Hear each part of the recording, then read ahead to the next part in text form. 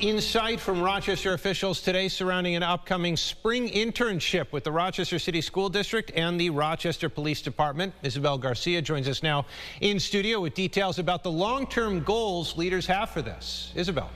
Yes, Adam, this is kind of a revival, but more of a revamp, if you will, and it comes as the department also brought back its community affairs deputy chief position last summer.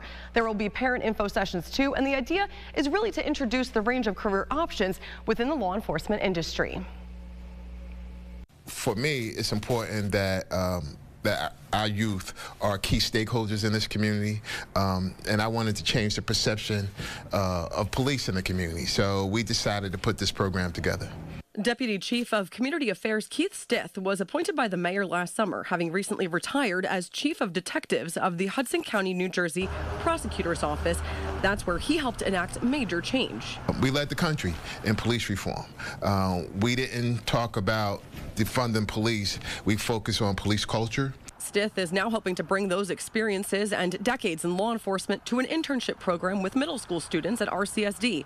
So, where one may think the term police equals uniformed officer, it could also look like a lab coat. I use the example that here we have a deputy chief that's responsible for a $90 million budget right? So they need to see that. You know, it's more than police and then putting handcuffs on people. And the kids will learn about careers in law enforcement, not just with, you know, being a police officer, which would be great for recruitment, but also about, you know, forensics, business administration, learning all the different facets of a police department. It will be a competitive process with applications going out this week. Parents will also be required to attend two information sessions with their student.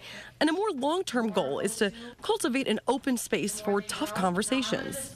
Imagine uh, a young person assigned to community policing and giving us ideas on how he want his or her community to be policed. Um, I think that's pretty important.